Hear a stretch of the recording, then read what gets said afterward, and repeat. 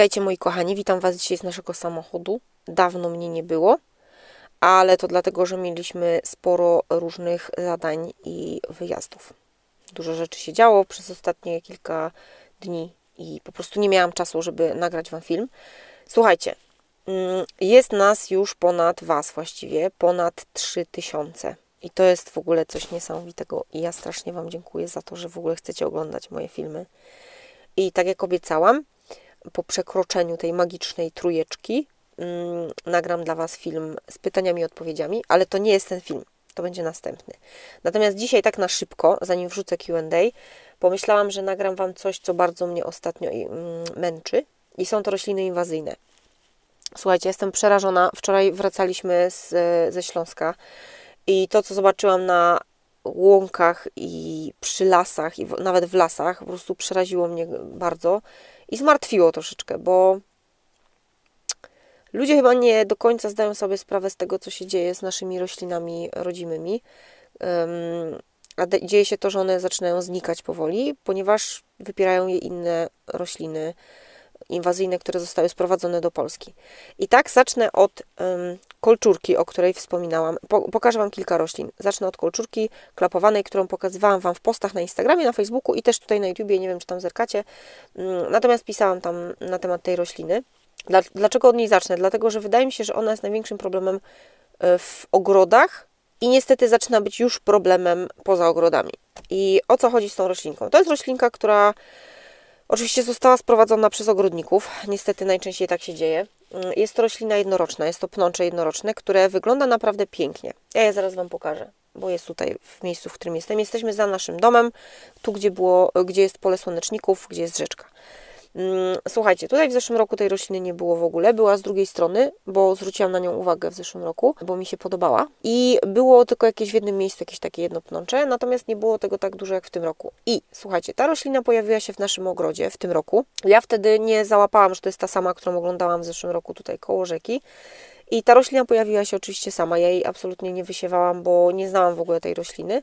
No i jak ją zobaczyłam, to stwierdziłam, kurde, jakie to jest piękne pnącze. Zostawię ją sobie ale na szczęście jestem jedną z tych osób, które lubią dociekać i y, bardzo często sprawdzam rośliny, które rosną u nas w ogrodzie, czy też nawet poza naszym ogrodem, więc uznałam, że mm, najpierw zapoznam się z tematem, a potem będę myślała, czy ją ewentualnie zostawić. No i wlazłam sobie w internety, i okazało się, że kolczurka klapowana jest bardzo inwazyjnym pnączem, które zarasta po prostu wszystko, wszystko i u nas dokładnie tak się stało, ponieważ ona z takiego małego główienka po prostu rozrosła się na ogromną część przy naszej szklarni, ogromny terenik. Ja oczywiście, wiedząc, jak dowiedziałam się, że jest to roślina inwazyjna, od razu ją wyrwałam i mimo tego, że jest piękna, bo jest naprawdę piękną rośliną, ma też ładny zapach, ma bardzo ciekawe owoce, to mimo tego po prostu chcę być osobą odpowiedzialną i nie chcę być odpowiedzialna za to, że ta roślina dalej, dalej się rozsiewa i niestety, ale nie pozwala ros, rosnąć naszym roślinom. I teraz to, to miejsce, które zaraz Wam pokażę, w zeszłym roku tu była łąka kwietna, taka samosiejeczka i było mnóstwo pięknych naszych polskich kwiatów, natomiast dzisiaj zobaczcie jak to wygląda. Tam jest pole słoneczników, które widzieliście na y, jednym z filmów, natomiast słuchajcie, zobaczcie to, to wszystko to jest właśnie kolczurka i jej tutaj nie było. Mm, tutaj była naprawdę piękna łąka kwietna. W tym roku nie ma w ogóle już naszych kwiatów. Tam gdzieś jakieś pojedyncze się pojawiają. Natomiast ona zarosła po prostu cały ten teren. I najgorsze jest to, że to wszystko się rozsieje i w przyszłym roku będzie jeszcze więcej. Zobaczcie, tam już jest w tamtym miejscu. Zobaczcie, no ona jest naprawdę piękna, bo, bo jest po prostu idealnym pnączem na, nie wiem, altanki i tak dalej. Ma bardzo ciekawe kwiaty, pachnące. Tak wyglądają jej owoce. One potem pękają i e, z tego co czytałam, dołem wyskakują sobie nasionka, które mają wygląd trochę taki jak nasionka dyni, bo to jest chyba zresztą z, roślin, z rodzin dyniowatych roślina. Zobaczcie, ona po prostu przyczepia się do, do każdej możliwej rośliny i no i po prostu sobie tak idzie, jak taki potworek i, i po prostu zagarnia sobie cały teren. Zobaczcie tu. Z drugiej strony też jest, już Wam pokażę z drugiej strony. I oczywiście jest jej coraz więcej niestety. Gdzieś tutaj była.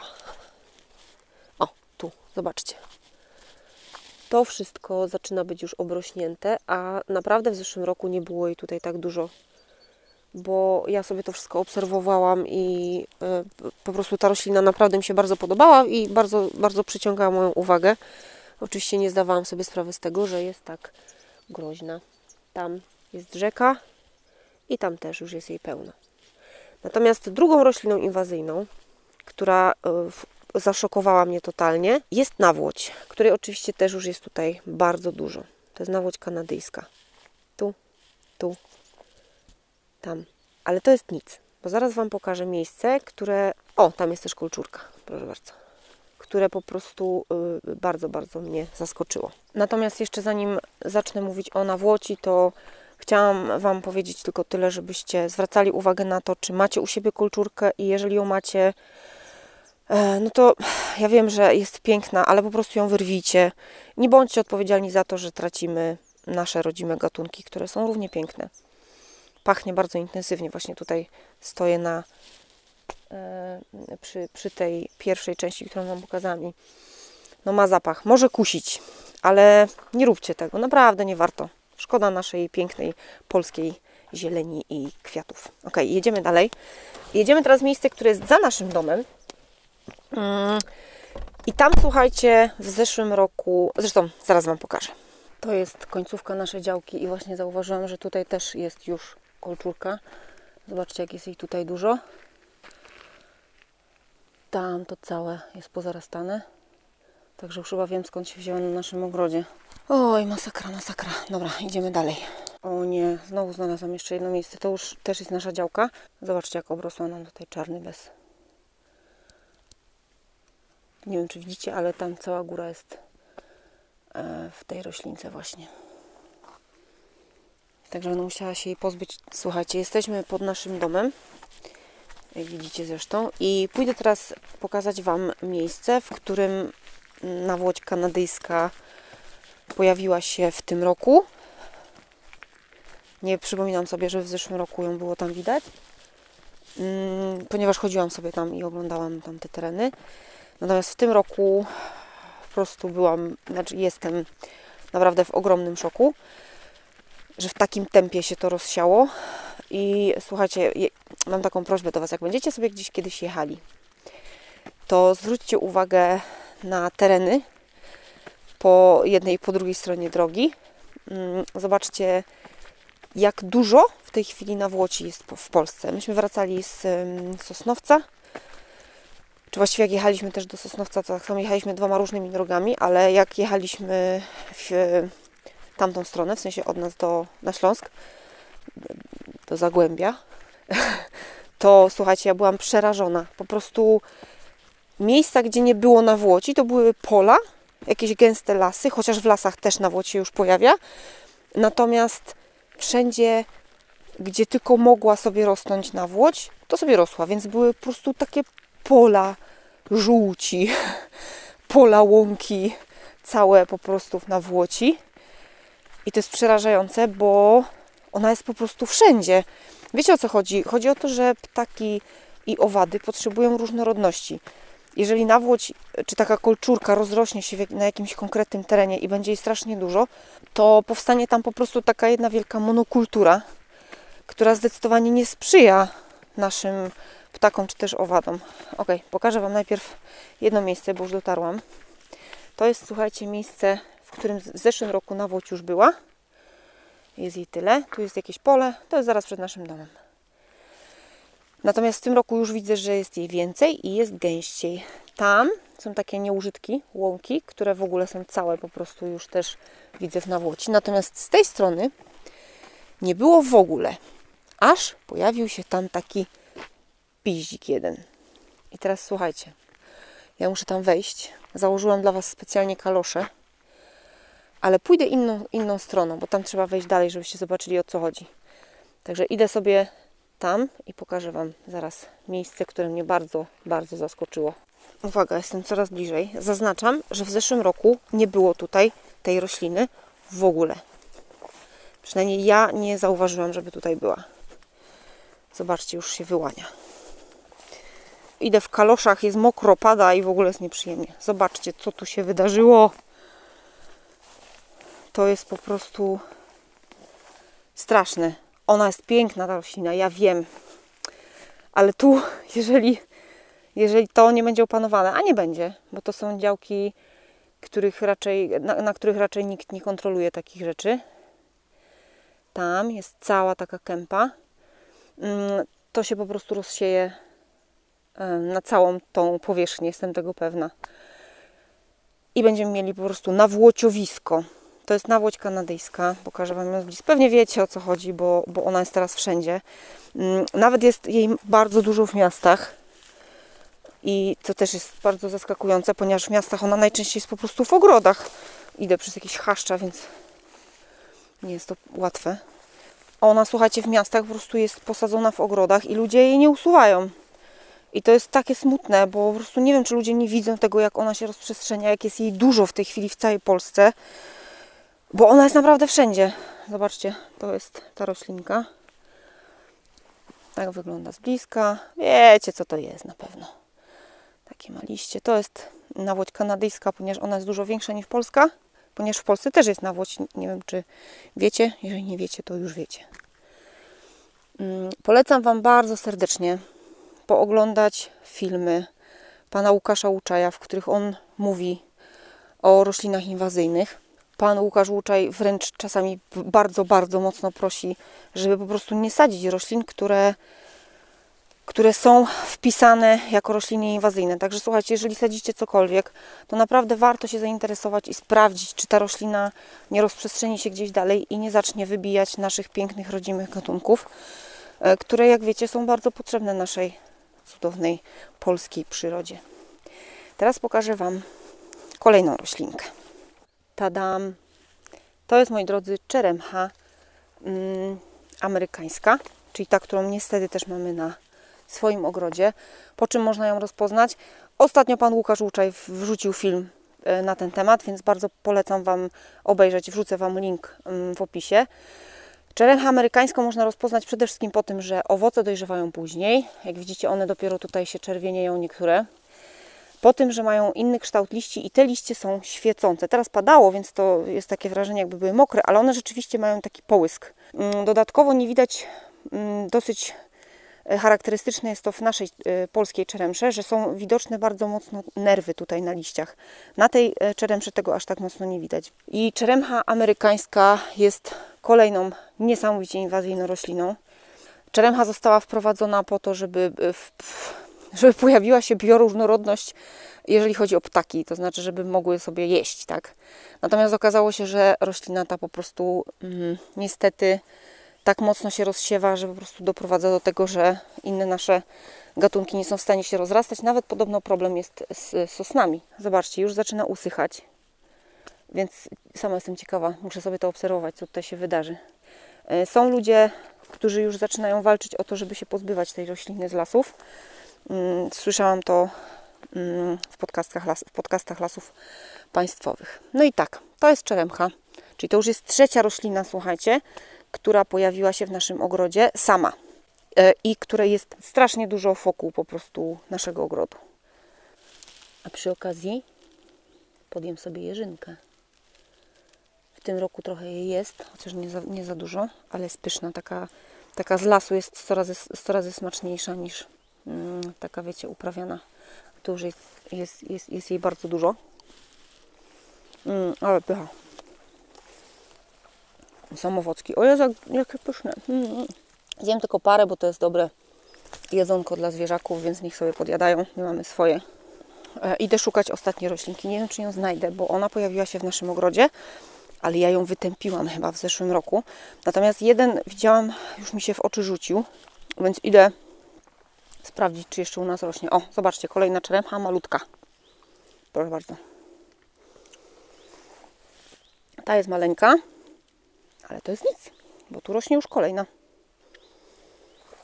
Myślę, że jak będę sobie tak szła, to będę mogła znaleźć jej sporo po drodze.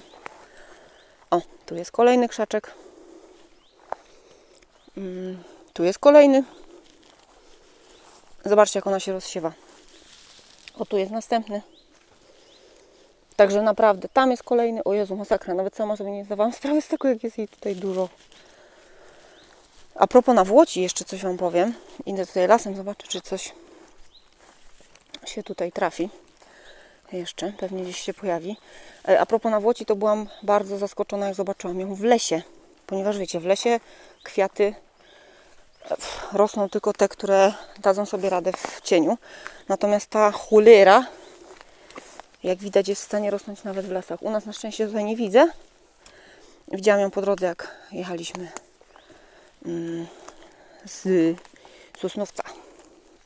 Słuchajcie, jesteśmy już w naszym ogrodzie. To, co tutaj leży, to jest nawłoć, którą wyrwałam jakiś czas temu. E, niestety nie zauważyłam, że jest jej więcej. I zobaczcie tu. No dramat. I ona się cały czas rozsiewa. W zeszłym roku jej było mniej. W tym roku jest jej dużo więcej. Dramat, dramat, słuchajcie. E, przy okazji, słuchajcie, widzieliście przed chwilą naszą kulczurkę. To jest nasz ogród. Tu jest czeremcha. Tu jest ym, nawłoć. To już są trzy rośliny, tak jak mówiłam, które pojawiły się w naszym ogrodzie, mimo tego, że nie powinno ich tutaj być. O, słuchajcie, mała pomyłka. Tam jest amerykańska, natomiast ta chyba jest nasza polska. Tutaj możecie zobaczyć różnicę w liściach. Widzicie, ona ma takie wyraźne nerwy i jej liście są matowe. Także jest szansa, że to jest jednak polska. Chociaż tyle dobrze. Ale niestety ona, zobaczcie jakie ona ma liście. Ona nam już drugi rok choruje. I to jest ta, którą myślimy, żeby wyciąć. No i teraz mam dylemat, bo jak to Polska, to może nie wycinać. Hmm. No nic, jeszcze się zastanowimy. Przyszłam sprawdzić tą dużą i wygląda na to, że to też jest Polska. Także e, cieszę się bardzo, bo myślałam, że to są dwie amerykańskie. Jeszcze idę zobaczyć trzecią. Tylko nie wiem, czy tam się dostanę, bo o, czekajcie, to nie jest też. Tu jest jeszcze. O, tu jest amerykańska. To jest amerykańska. Ta. A tu jest polska. Bo ma rzeczywiście zupełnie inne liście. Nie widać tego za bardzo. Natomiast tutaj. O, tam są owoce. Nie wiem, czy widać. To nie widać chyba na filmie. Także no mamy i te, i te. O, tam widać, że jeszcze owoce nie dojrzały. Ok, słuchajcie, znalazłam kolejną roślinkę. Gdzieś mi się schowała. Halo, roślinko, gdzie się schowałaś? O tu. To jest niecierpek gruczołowaty, jeżeli dobrze pamiętam. I to jest taki kwiatuszek, który wygląda jak taki mini storczyk. Generalnie jest e, ładny bardzo. Ja go zobaczyłam pierwszy raz w Bieszczadach i byłam zachwycona, ponieważ tam w tym niecierpku było wszystko. W jednym miejscu po prostu wszystko było w tym kwiatku. I wiecie, w związku z tym, że to był taki fajny efekt, że jest takie pole fioletowych, małych mini storczyków, to oczywiście byłam zakochana w tym, e, w tym e, widoczku. I oczywiście zamiast e, od razu już wtedy sprawdzić o co chodzi, to, to na początku się tym jarałam, a dopiero po jakimś czasie stwierdziłam, że hmm, dosyć sporo tam tego jest, więc ciekawe, czy to właściwie powinno się tak mocno rozsiewać. No i okazało się, że jest to kolejna roślina, która niszczy naszą przyrodę i nasze piękne rośliny która zawładnęła mm, już niektórymi większymi jakimiś połaciami terenu. Między innymi e, właśnie w Bieszczadach jest jej bardzo dużo. U, muszę wyłączyć naszego straszacza. E, no i jak się okazało, jest też już tutaj, na przykład u nas. Ona jest e, co prawda w małych ilościach, bo spotkałam dopiero kilka takich kwiatuszków. Natomiast ja ją wyrywam i nie pozwalam jej się tutaj rozrastać, no bo wiem do czego może to doprowadzić. Mm, także kochani, słuchajcie, nie sadźcie roślin, które są inwazyjne. Kolejną rośliną jest na przykład Rudbeckia naga, która, co byłam bardzo zdziwiona, ale myślę, że to jest kwestia też niezorientowania się w temacie, ponieważ ym, i tutaj mała pauza, ponieważ stwierdziłam, że jednak nie będę mówiła o kogo dokładnie chodzi. W każdym razie jest ym, pewna osoba, która na YouTubie rozpowszechnia informacje o tym, że Rudbeckia naga jest świetną rośliną do ogrodu. Ym, bardzo ją poleca do sadzenia w ogrodach, co jest niestety nie najlepszym pomysłem i z całym szacunkiem uważam, że nie powinien polecać tej rośliny jako roślinę, którą powinno sadzić się w ogrodach, ponieważ ona bardzo mocno się rozsiewa i później niestety zagarnia wszystko po prostu. I też można to zobaczyć w Bieszczadach. W Bieszczadach w tej chwili jest, są, są tak samo jak z nawłocią pola po prostu rudbeki nagiej. I wiecie, problem polega na tym, tak jak mówię, że y, zaczyna się robić taka y, monokultura Oczywiście sama z siebie, bo nikt jej tam nie sadzi, tej rudbeki, czy tam nawłoci. I owady i y, ptaki będą miały do dyspozycji tylko jeden rodzaj rośliny, co jest strasznie smutne, bo jak wiecie, bioróżnorodność to jest bardzo istotna sprawa w, na całym świecie, nie, nie, tylko w Polsce, bo to wszędzie powinno tak wyglądać, że są różne gatunki, z których zwierzęta mogą korzystać. Także kochani, jeżeli macie jakąś nową roślinę w ogrodzie, która mm, nie jest Wam znana, to zanim stwierdzicie, że warto ją w ogrodzie posadzić, wysiać, mm, spróbujcie się zorientować i, i dowiedzcie się, czy na pewno ta roślina nie zaszkodzi naszej, mm, naszej polskiej przyrodzie, mm, czy aby na pewno powinna ona znaleźć się w ogóle w, w miejscu, w którym, w którym chcecie ją wsadzić. Y, poza tym, że może on doprowadzić do tego, że wasz ogród będzie cały po prostu później, wiecie, w, w, w tych roślinach, to oczywiście ona pójdzie sobie dalej i rozsieje się dalej, dalej, dalej i niestety będzie to, co dzieje się teraz z nawłocią, czy też właśnie z kolczurką. Także słuchajcie, to, że nie ma jej w tej chwili u Was dużo teraz, to nie znaczy, że ona się nie pojawi, bo pewnie się w końcu pojawi. Tak jak to jest ze wszystkimi inwazyjnymi roślinami, czy też zwierzętami. Także słuchajcie, taki mój apel, jeżeli mogę Was o to prosić, jeżeli macie jakąś roślinę inwazyjną u siebie w, mm, w ogrodzie, spróbujcie się jej pozbyć, po prostu ją wyrwijcie, nie dopuśćcie do tego, żeby ona się rozsiewała, bo naprawdę potem będzie, będzie spory problem, żeby sobie jakoś z tym poradzić. Niestety wydaje mi się, że z nawłocią chyba nie jesteśmy już sobie w stanie poradzić, bo jest jej naprawdę. Proszę Was, zwróćcie sobie uwagę, jak dużo jest jej wszędzie. Z czeremchą też powinno się coś z tym zrobić, bo to niestety bardzo zmieni nasze lasy. Z kolczurką też walczcie, mimo tego, że jest piękna. Generalnie wszystkie e, inwazyjne rośliny, jeżeli w ogrodzie macie, to po prostu się ich pozbądźcie i posadźcie te, które nie zagrażają naszej polskiej przyrodzie. Taki mój apel do Was. Ok, to tyle. Idę się zabrać do pracy. Jeszcze muszę zjeść jakieś śniadanko, a z Wami widzę się w filmie Q&A, który będzie już niebawem. Trzymajcie się ciepło, buziaki, dbajcie o swoje ogrody i o naszą piękną przyrodę. Pa, pa.